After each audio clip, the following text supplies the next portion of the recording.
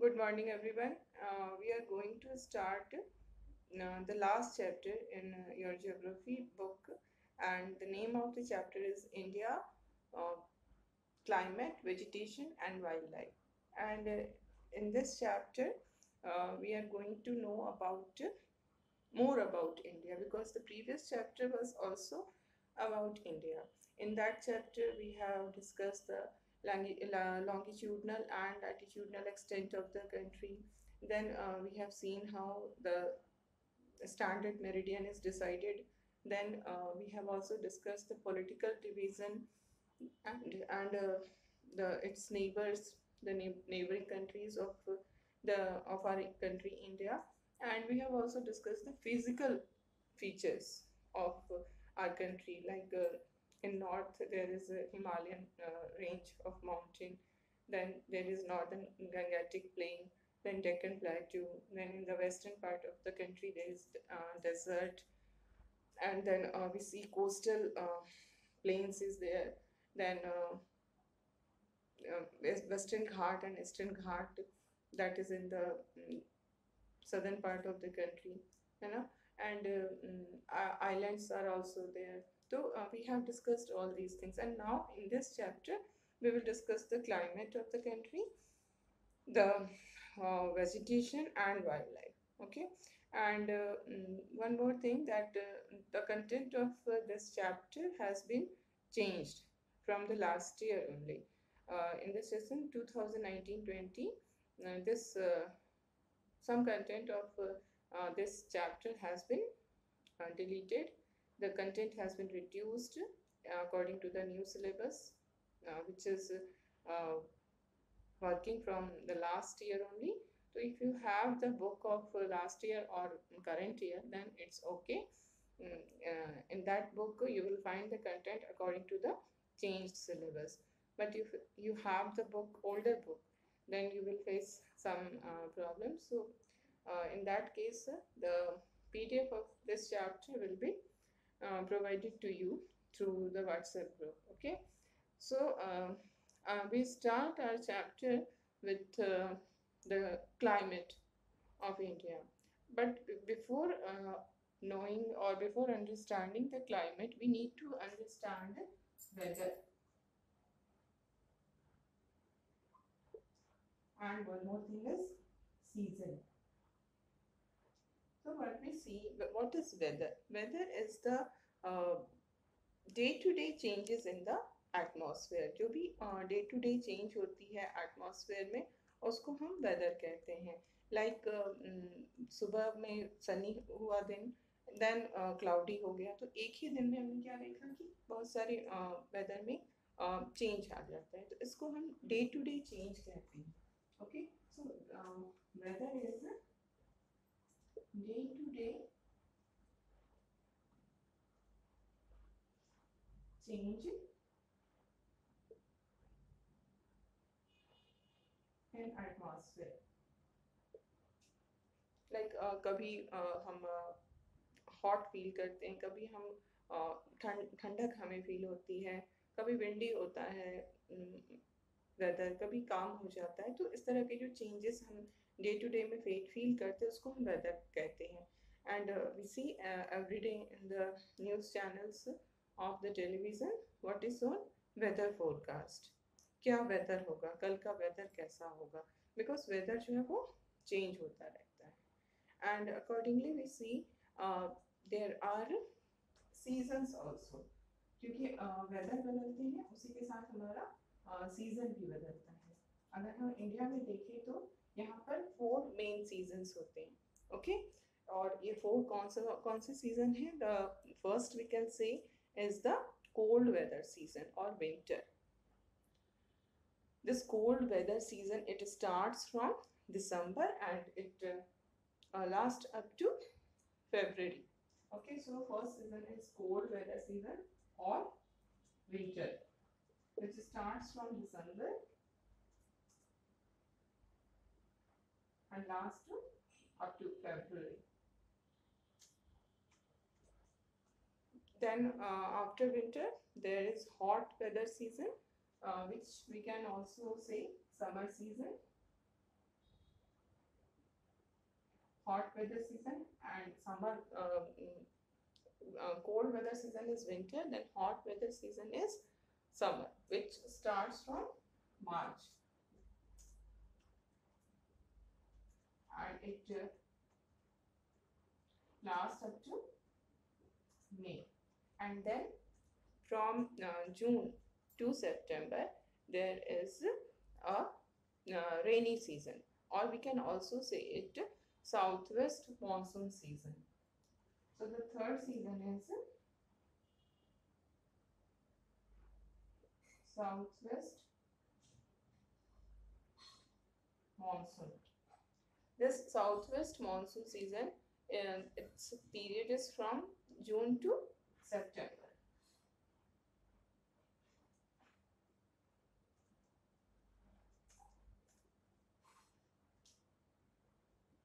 Southwest monsoon. The period is June to September or it can, it can also be called rainy season.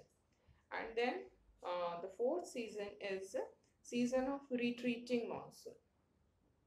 I, I will explain you uh, just a, a pele, uh, we will start from winter season then I will um, tell you what is the meaning of um, this retreating monsoon. So the last uh, season is season of retreating monsoon.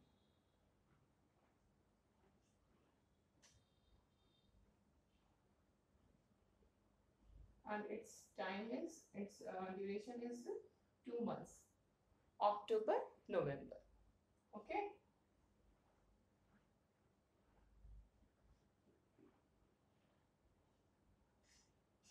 Okay तो इस तरह से अगर हम देखें तो ये four seasons हैं।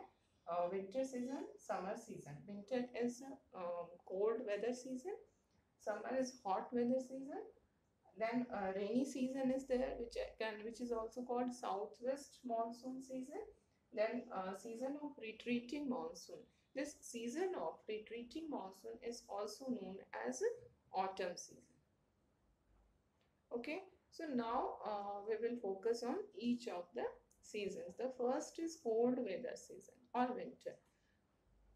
This is the um, season when we see that the rays of the sun do not fall directly uh, on the region in which our country is located.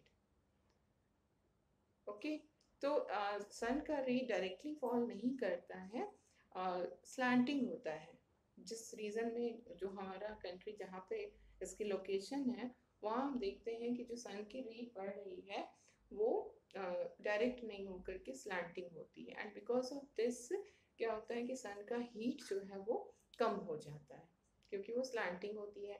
जैसे कि हम लोगों ने देखा था कैसे स्लैंटिंग जो एक टॉर्च का के थ्रू हमने देखा था कि जब एक स्लैंटिंग लाइन में लाइट आती है तो वो ज़्यादा एरिया में फैलती है।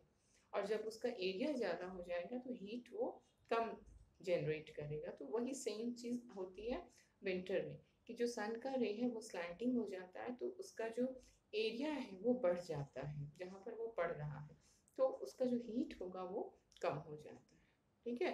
सो व्हाट वी सी कि जो टेम्परेचर है वो बहुत ही लो हो जाता है specially in the northern region अगर इंडिया का हमने जो लास्ट चैप्टर में we have seen that tropic of cancer passes through the country from almost middle uh, middle of the country. एकदम कंट्री के बीच से वो पास करती है।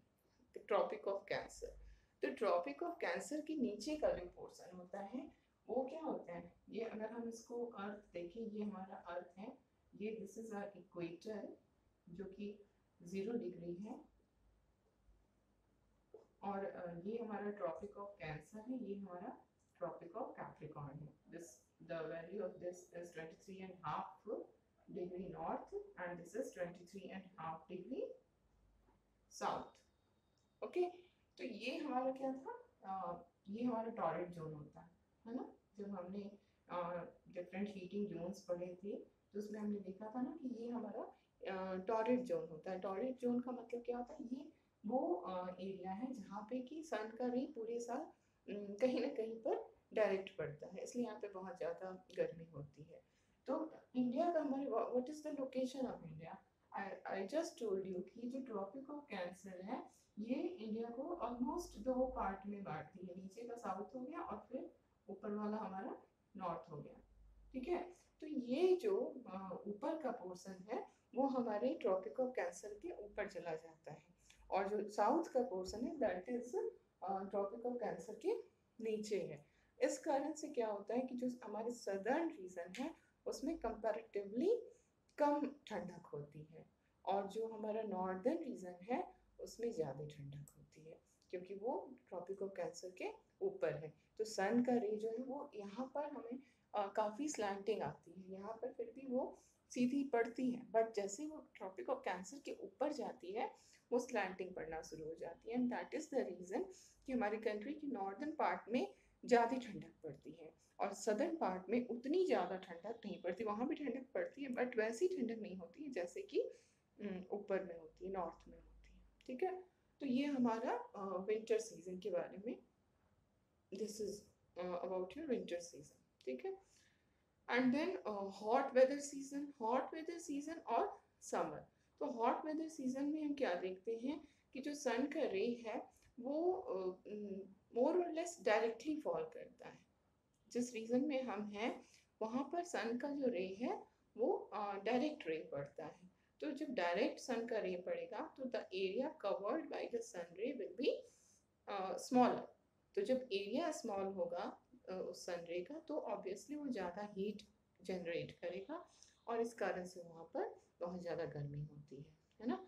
तो ये हमारा हॉट वेदर सीज़न है, जिसके में कि टेम्परेचर बहुत ज़्यादा हाई हो जाता है और हाई के साथ साथ ड्राई भी होती है टेम्परेचर टेम्परेचर हाई होती है प्लस ड्राइनेस भी होती है और इसी समय एक बहुत ही हॉट एंड ड्राई विंड चलती है, जिसको हम लू कहते हैं। जो हमारी कंट्री है, इसमें समर सीज़न में एक हॉट एंड ड्राई विंड चलती है जिसे कि हम लू कहते हैं, जो कि दिन के समय में चलती है।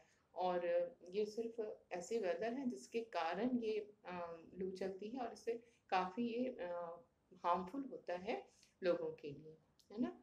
And then our third season that is south west monsoon season अब हमारा जो साउथ वेस्ट मानसून है we have discussed about this southwest monsoon when we were discussing about uh, the traders traders, kings, and pilgrims. That is uh, uh, one of the one of your chapters in the history, है And in this chapter, uh, we have discussed about this southwest monsoon कि कैसे जो traders जो Africa से और अरब से आते थे आज से 2500 3000 years ago जो traders अफ्रीका और अरब कंट्रीज़ से आते थे, वो फील करते थे कि कोई एक हवा है, जो कि हमेशा इंडिया की तरफ़ ही बहती है। और इस इस हवा के साथ जब वो सेल करते थे तो वो बहुत जल्दी पहुँच जाते थे। क्योंकि हवा जो है, जो विंड का डायरेक्शन था, वो हमेशा इंडिया की तरफ़ होता था पर्टिकुलर टाइम में, ऐसा नहीं कि पूरे साल। Particularly during the month of May June May last June और जून जून होते होते ये जो हवा है, ये हमेशा इंडिया की तरफ़ आती है। इसका डायरेक्शन क्या बताया जा रहा है? South west. तो ये जो विंड आ रही है, वो साउथ वेस्ट डायरेक्शन से आ रही है। This is the south west direction तो साउथ वेस्ट डायरेक्शन से जो विंड आ रही है, उससे क्या होता था कि ट्रेडर्स को आने में बहुत आसानी होती थी। We have discussed about it है ना? तो बाद में ये समझ में आया कि ये विंड क्यों आता है? एक्चुअली इट्स मानसून ये इसके पीछे बहुत सारी चीज़ें हैं। You don't need to know all those things जैसे कि क्या होता है कि टेम्परेचर का डिफरेंस होता है। जो ग्लोब का, जो अर्थ का डिफरेंट पार्ट्स है, वो डिफरेंट तरीके से गर्म होता है। कहीं पर बहुत ज़्यादा गर्मी हो जाती है, कहीं ठंडक हो जाती है। तो इससे क्या होता है टेम्परेचर के डिफरेंस के साथ साथ प्रेशर का भी डिफरेंस होता है। और जब प्रेशर का डिफरेंस होता है तो क्या होता है हम लोग ये सारी चीज़ें जो है, वो पढ़े हुए हैं, है ना? मैंने पहले जब जोग्राफी के, पहले के चैप्टर्स बताया है तो उसमें ये भी बताया था कि जब टेम्परेचर बढ़ता है तो उसके साथ साथ क्या होता है कि जो हमारा प्रेशर है, उसमें भी चेंजेस आते हैं। ठीक है?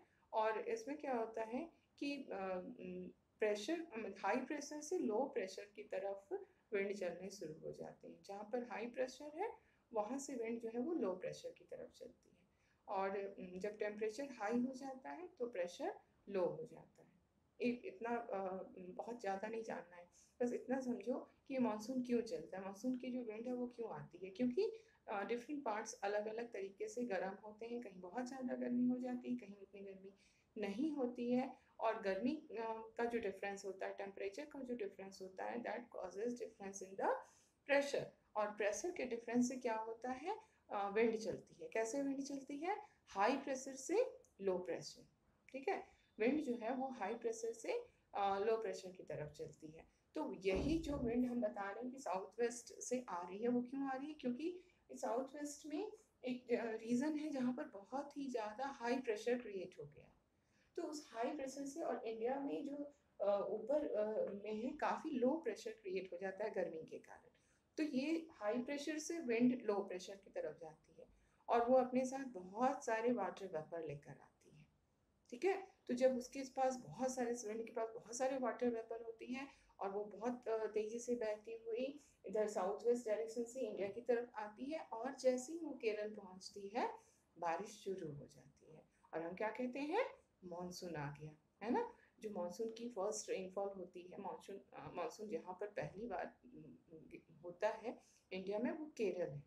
तो इसको हम मानसून कहते हैं। और ये मानसून से पूरी इंडिया में हम देखेंगे कि बारिश होती है मतलब केरल से स्टार्ट होती है फिर बॉम्बे की तरफ़ मुंबई महाराष्ट्र की तरफ़ जाती है फिर उसके बाद वो एक, और ब्रांच में बढ़ जाती है फिर इधर नॉर्थ ईस्टर्न पार्ट जो हमारे मेघालय और सिक्किम ये सारी हैं इनकी तरफ़ जाती है फिर वो गंगेटिक प्लेन की तरफ़ होती हुई इस तरह से पूरी कंट्री में वो बारिश कराती है ये जो मानसून के विंड आते हैं इससे ऑलमोस्ट पूरी कंट्री में बारिश हो जाती है, लेकिन वही जो राजस्थान वाला हमारा है ना एरिया जहाँ पर कि वो होता है डेजर्ट है, जहाँ बहुत गर्मी है, बहुत ड्राई सीज़न है, वहाँ तक पहुँचते पहुँचते हमारा जो मानसून विंड है, वो बहुत वीक हो जाता है।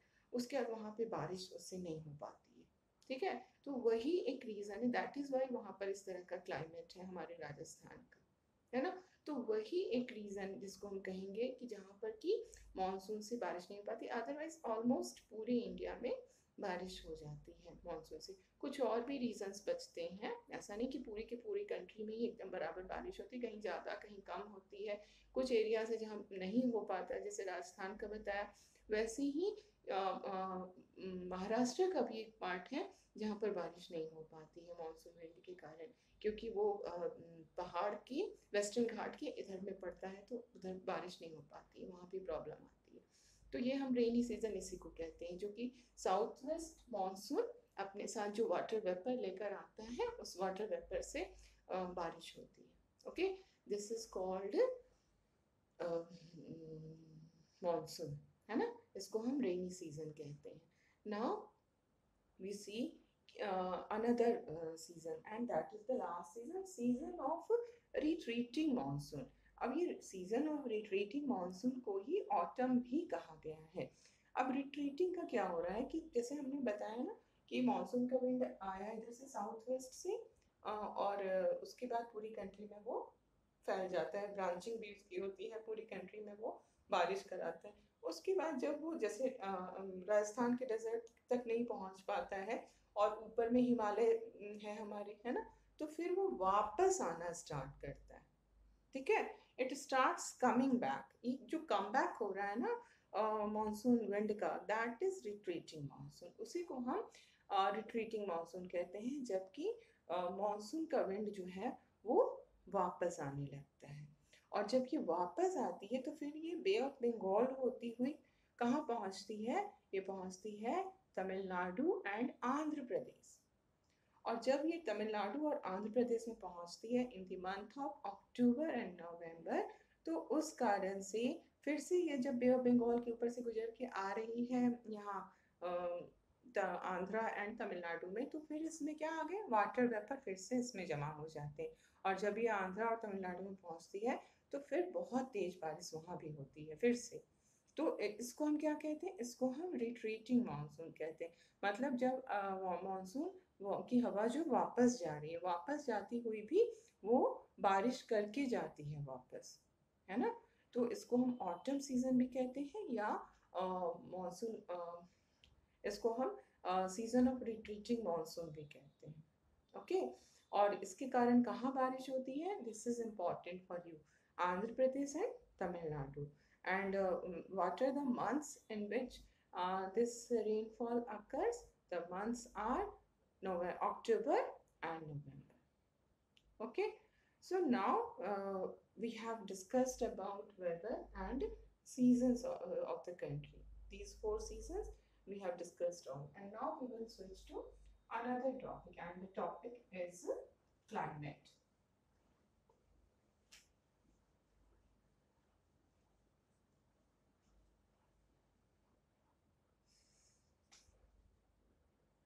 Now, what is climate? We have discussed uh, weather, we have discussed season. Now, a new thing is there, climate what is climate climate and weather are, are uh, very much uh, uh, related to each other they are not uh, the similar things there is a very difference between these two लेकिन दोनों एक दूसरे से जुड़े हुए हैं क्या what is the relation between climate and weather the relation is that climate is about the average weather condition, which have been measured over many years. किसी एक पर्टिकुलर रीजन का जब क्लाइमेट हम देखते हैं कि वहाँ की क्लाइमेट कैसी है तो हम क्या देखते हैं? वहाँ का एवरेज वेदर कंडीशन को हम कंसिडर करते हैं। Okay climate is average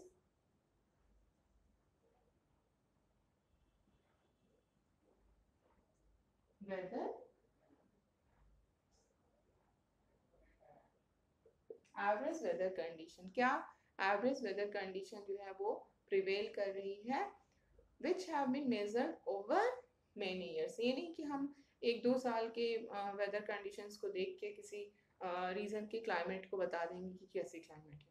अगर हमें किसी रीजन के क्लाइमेट को बताना है कि वहाँ की क्लाइमेट कैसी है तो हमको क्या देखना होगा? हमें वहाँ के एवरेज वेदर कंडीशन को देखना होगा पूरे बहुत सारे पीछे के साल का जो वेदर है, उसको मेजर करना होगा okay so this is important कि average weather conditions which have over the years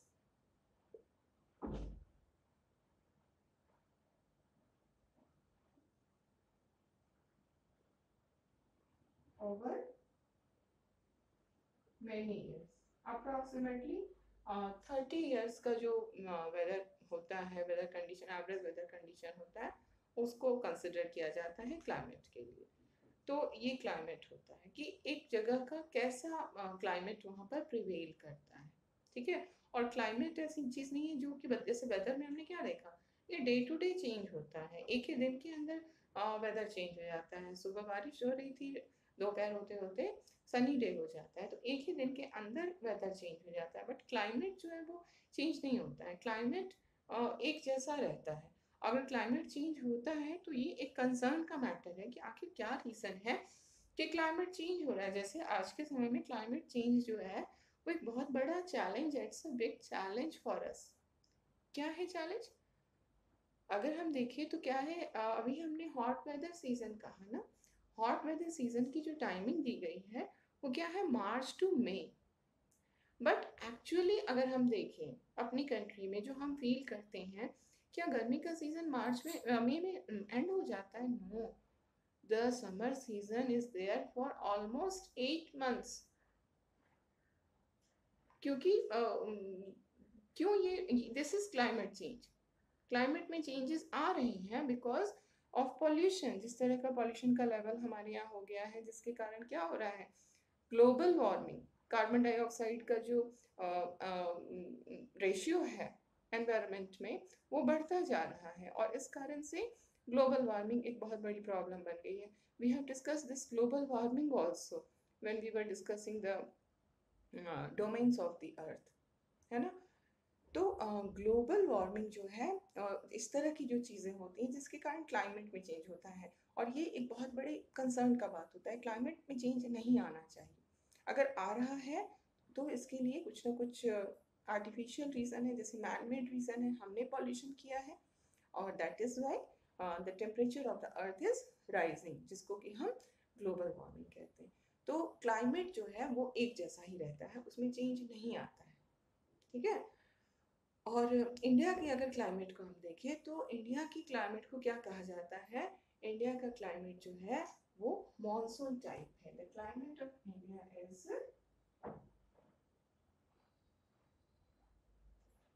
monsoon type okay अब मॉनसून क्या है? अभी हमने देखा ना मॉनसून की जो विंड आ रही है, उसके कारण ही इंडिया में रेनफॉल होता है है ना? दो तरह की मानसून विंड को हमने देखा, एक तो साउथ वेस्ट मानसून था देन रिट्रीटिंग मानसून था, है ना? तो ये मानसून जो है, ये वर्ड कहाँ से आया है?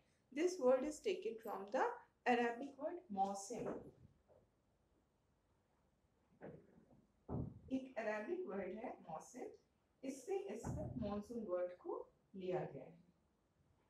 Okay monsoon word has been taken from an Arabic word mausim and what is the meaning of mausim mausim is मौसम जो हम हिंदी में क्या कहते हैं? आज मौसम अच्छा है मौसम वेदर है ना? तो आ, ये जो मानसून है वो मौसम से आया है। मौसम इज़ सीज़न मीनिंग ऑफ़ मौसम इज़ सीज़न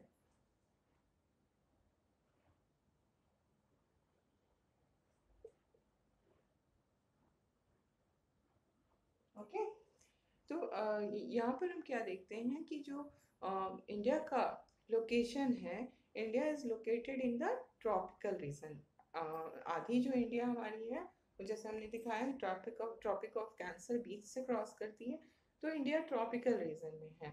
और इसके कारण क्या होता है? इंडिया का जो लोकेशन है ट्रॉपिकल रीजन में, इस कारण से जो मोस्टली जो रेनफॉल यहाँ पर होती है, वो मानसून के कारण ही होती है। ठीक है? और हमारी कंट्री क्या है? एक एग्रीकल्चरल कंट्री है। हमारे कंट्री में आज भी two third almost two third जो पॉपुलेशन है that is dependent on the agriculture directly और इनडायरेक्टली तो agriculture is the main occupation in our country और we have this no we know all these things कि agriculture अगर हमें अच्छा चाहिए, हमें ज़्यादा प्रोडक्टिविटी चाहिए तो उसके लिए क्या करना होगा? हमको इरिगेशन की फैसिलिटी चाहिए होती है ना, पानी की ज़रूरत होती है बिना पानी के। एग्रीकल्चर नहीं हम कर सकते हैं कल्टीवेशन नहीं कर सकते तो ये जो पानी की नीड है एग्रीकल्चर के लिए, ये नीड हमारी किससे पूरी होती है? ये नीड हमारी मानसून से पूरी होती है, क्योंकि एवरी ईयर मानसून जो है वो एक पर्टिकुलर टाइम पे ही आता है और इसके बारे में प्रडिक्शन भी की जाती है। ये नहीं है कि हर हर एवरी ईयर ये बिल्कुल एक जैसी बारिश होती है। कभी मानसून अच्छी होती है, कभी मानसून अच्छी नहीं भी होती है, बारिश नहीं भी होती है बट हमारे यहाँ क्या है कि इरिगेशन की फैसिलिटीज़ हमारे यहाँ बहुत डेवलप नहीं हो पाई है। आज भी हमारे जो फार्मर्स हैं they are dependent on the monsoon for the purpose of irrigation तो इस तरह से अगर मानसून अच्छा हो जाता है तो उसका मतलब क्या होता है कि आ, अच्छी क्रॉप होगी। क्रॉप अच्छी होगी तो क्या होगा? फार्मर्स खुश होंगे क्योंकि उनकी उनके पास पैसे ज़्यादा आएँगे वो खुश होंगे। तो इस तरह से ये हमारा मानसून का क्लाइमेट होता है। And now after this we will discuss the factors किसी भी प्लेस का जो क्लाइमेट होता है उसको अफेक्ट करने वाले कौन कौन से फैक्टर्स होते हैं? The factors uh, which affect uh, the climate of any place? And in this regard we will see there are so many factors like the location जिस किसी भी कंट्री की क्लाइमेट की हम बात कर रहे हैं उसकी लोकेशन क्या है? That is very important factor then altitude what is altitude altitude is the height ठीक है? वहाँ पे एल्टीट्यूड क्या है? Distance from the sea sea से कितनी दूरी है? दैट इज़ इंपॉर्टेंट देन रिलीफ कैसा है? So all these are factors of climate और यही किसी भी जगह के क्लाइमेट को डिसाइड करते हैं।